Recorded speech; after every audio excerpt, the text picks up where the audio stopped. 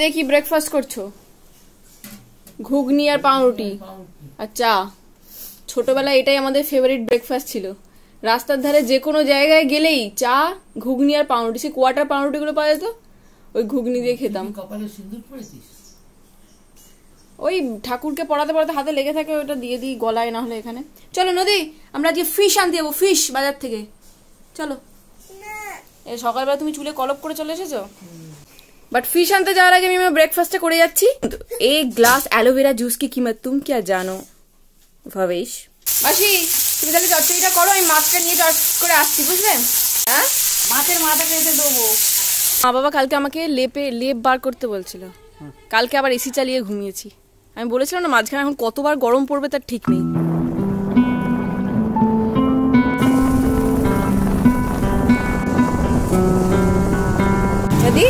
খাবে একটা ডাব খাবে না?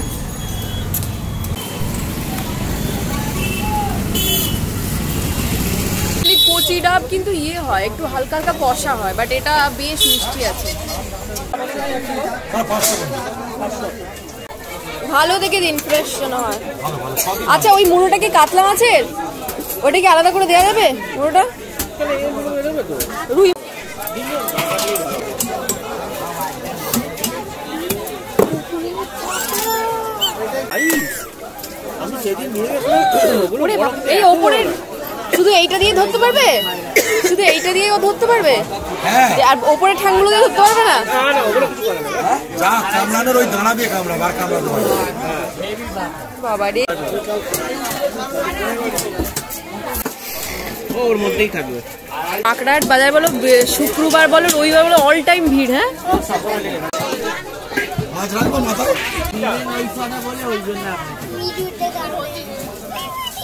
করতে নয় কিন্তু কামড়া মানে আর এই পেঁয়াজ কলি কত করে? পেঁয়াজ কলি? দিন তো? না নেব না। হ্যাঁ?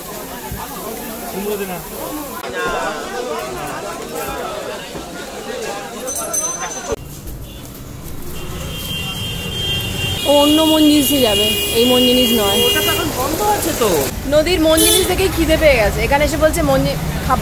বাট এখানে ঢুকে বলছে এই মন জিনিস না অন্য মন জিনিস মানে ও মিও আমরের কথা বলছিল যেখানে খায় ও। চলো চলো চলো চলো চলো চলো চলো। আবার এখানে কেন ঢুকছো তুমি? বাড়িতে এসে গেছি সোজা পেঁয়াজ ছাড়াতে। পেঁয়াজ ছাড়িয়ে হবে মাছের তেলের বড়া। আর সেই কাতলা মাছের যে মাথাটা এনেছি না ওটা ভালো করে ধুয়ে দেবে বুঝলে? মুগের ডাল রান্না করব। এই যে কড়াই বসিয়ে দিয়েছি মুগের ডালটাকে ভেজে নেব তারপরে সেদ্ধ করে নেব।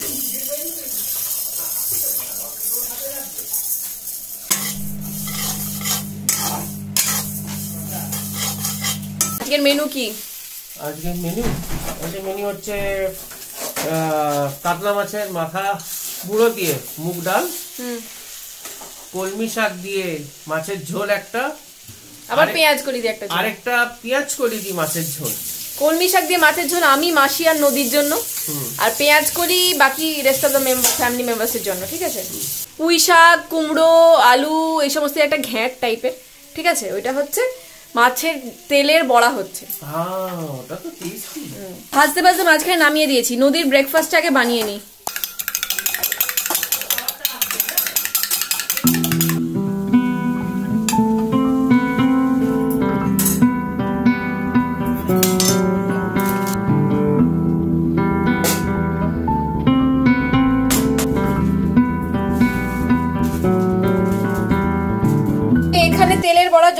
যে মাছের তেল অনেকটা রয়েছে। এখানে নিয়েছি পেঁয়াজ কুচি, রসুন কুচি, কাঁচা লঙ্কা কুচি, ক্যাপসিকাম কুচি আর আদা অল্প একটু বাটা, ঠিক আছে? তো এইটার মধ্যে তেলটা দিয়ে বেসন, অল্প একটু চালের গুঁড়ো, নুন, হলুদ দিয়ে মিক্স করে বড়া হবে। তেলটা বেশ বড় আর পাকিয়ে পাকিয়ে আছে, সেজন্য আমি ছোট্ট ছোট্ট করে কাচি করে কেটে নিচ্ছি যাতে প্রত্যেকের ভাগে একটু করে পড়ে নাহলে একটাই একজনের মুখে গপাত করে ঢুকে যাবে। সবই তো হলো চালের গুঁড়োও কোথাও পেলাম না আর কর্নফ্লোরও ছিল না। তাই শুধু বেসন দিয়ে বাধ্য হয়ে করতে হলো বাট খেতে কিন্তু সত্যি সুন্দর হয়েছিল পুরো একদম যাকে বলে বিয়ে বাড়ির মতো। প্রথমে এর মধ্যে দিয়ে দিচ্ছি বেসন। বেশ ঝালঝাল লাগার জন্য একটু গোলমরিচ গুঁড়ো দিলাম। এরপরে দেবো অল্প একটু জিরের গুঁড়ো, ধনের গুঁড়ো, নুন। আর আমি এর মধ্যে একটু আদা, রসুনের পেস্টও দিচ্ছি। বেশ মানে একদম চটপাটা লাগবে। আদা, রসুনের পেস্টটা না মানে যে কোনো রান্নায় দিলে বেশ এটা রান্নার মোডটাই ঘুরে যায়। খুব ভালো লাগে খেতে। এরপরে দিচ্ছি কেচাপ সয়া সস দিয়ে দিলাম অল্প। এবার মাসিকে বলব এই দুটো ফ্রিজে রেখে দিয়ে আসতে এবারে ভালো করে মিক্স করে নিচ্ছি সব কিছু যন্ত্র যন্ত্র ও, পুরো এখনই বিয়ে বাড়ির গন্ধ ছেড়ে গেছে। মাছের। মাখাতেই থাকব মাখাতেই থাকব মাখাতেই থাকব মাখাতেই থাকব।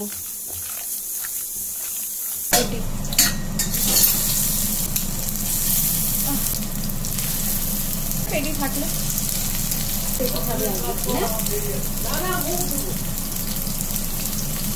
এখন ছাড়বে না এখন ছাড়বে না।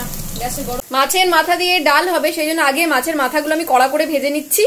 তারপরে মাছ ভাজা স্টার্ট হবে। মাছের বড়াগুলো একদম লাল লাল করে ভাজবো এক পিঠ হয়ে গেলে আর এক পিঠ এই যে উল্টে দিচ্ছে এই যে। পুরো পকোড়ার মতো লাল লাল ভাজা হয়ে গেছে।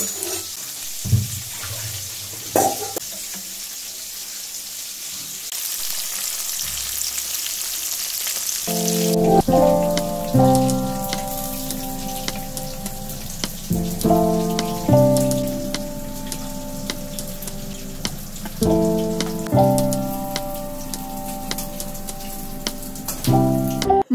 বানানোর জন্য কড়াতে আমি সর্ষের তেল গরম করেছিলাম, তারপরে এর মধ্যে দিয়ে দিচ্ছি জিরে ফোড়ন। তারপরে দিচ্ছি দুটো শুকনো লঙ্কা ফেড়ে। শুকনো লঙ্কাটা বেশ ভালো করে মানে একদম যাকে বলে, কড়া করে ভাজতে হবে, তারপরে দিয়ে দিচ্ছি গোটা গরম মশলা ফোড়ন। তারপরে এক এক করে আমি এর মধ্যে দিয়ে দেবো রসুন কুচি, পেঁয়াজ কুচি। পেঁয়াজটা মোটামুটি হালকা ভাজা হয়ে গেলে এর মধ্যে আমি দিয়ে দেবো অল্প জাস্ট অল্প একটু আদা বাটা। তারপরে আমি এর মধ্যে একে একে দিয়ে দেবো, যেরকম দেয় নুন মিষ্টি, তারপরে হলুদ গুঁড়ো, লঙ্কার গুঁড়ো মানে কাশ্মীর রেড চিলি পাউডার অবশ্যই বেশি ঝাল যাতে না হয়। তারপরে জিরে গুঁড়ো, ধনে গুঁড়ো অবশ্যই। আর এটা কিন্তু বেশ মানে পরিমাণ মতো দিতে হবে, নাহলে কিন্তু মানে একটা আর একটার থেকে বেশি হয়ে গেলে খেতে ভালো লাগবে না। এরপরে ভালো করে মশলাটা কষিয়ে নেব। দেখবেন যখন কালারটা একদম সুন্দর চলে এসেছে, দেখুন।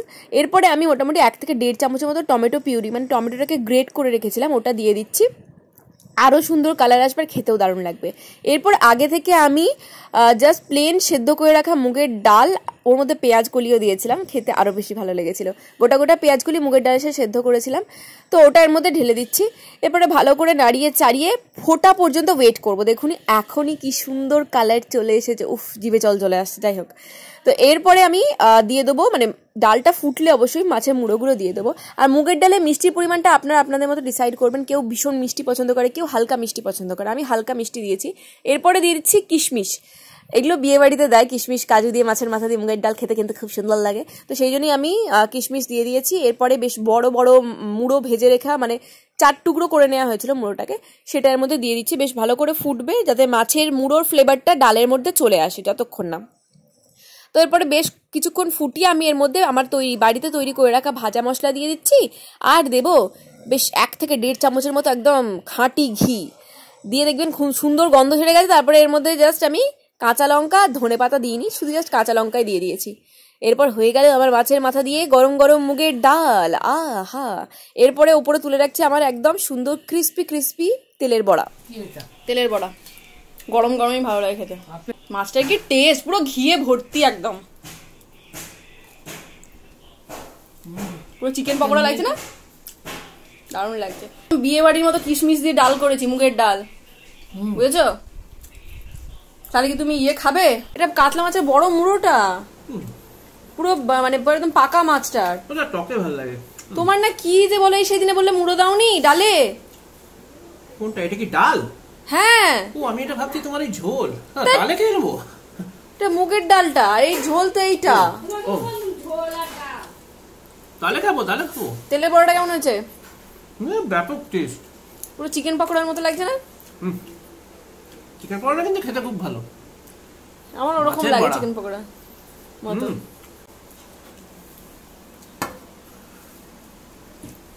হুম। পুরো বিয়ে বাড়ি পুরো বিয়ে বাড়ি পুরো কিশমিশ দিয়ে। অসাধারণ। তোমরা খাবে বলেই তাই নাহলে ছোটদা আরও নিত। ও তো কিছু বলেনি।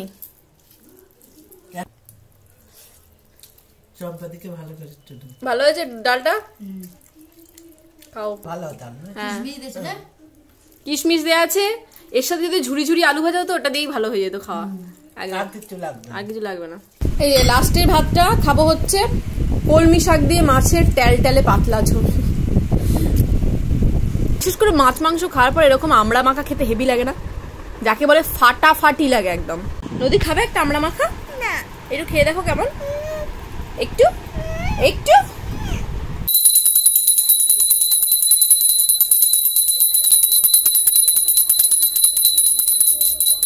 সকালে পরে সন্ধেবেলায় আবার মাকে কি খেতে দেবো সেই নিয়ে মহা দুশ্চিন্তায় কাটছিল। তারপরে ভাবলাম পাপড় ভাজি পাপড় ভাজা তেল দিয়ে মুড়ি দিয়ে চা দিয়ে মা খায়। ওটাই দেবো দেবো। নদীকে হোমওয়ার্ক করাতে বসেছি।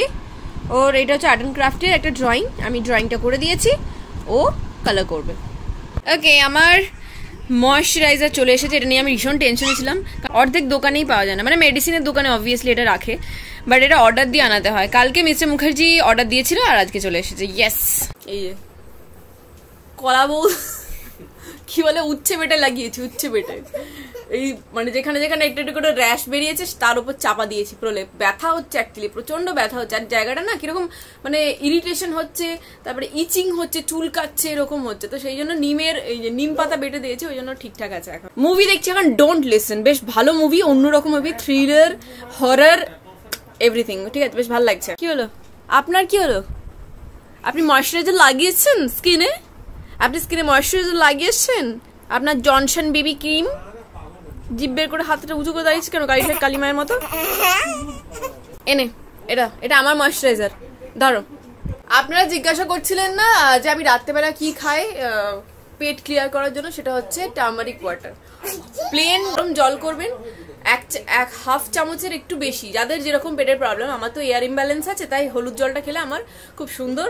বাউল মুভমেন্ট ক্লিয়ার হয়। তো আপনাদের যদি সেরকম কনস্টিপেশনের প্রবলেম থাকে এটা করে দেখতে পারেন। রোজ মানে একদম রেগুলার কিন্তু সুন্দর মানে কি বলব পেট ক্লিয়ার হবে ঠিক আছে? কপ ঝাড়ের থেকেও বেশি. Tata. আজকে লাইকি ডাইকি টেলে। রে রে সেই আইকে দেখি।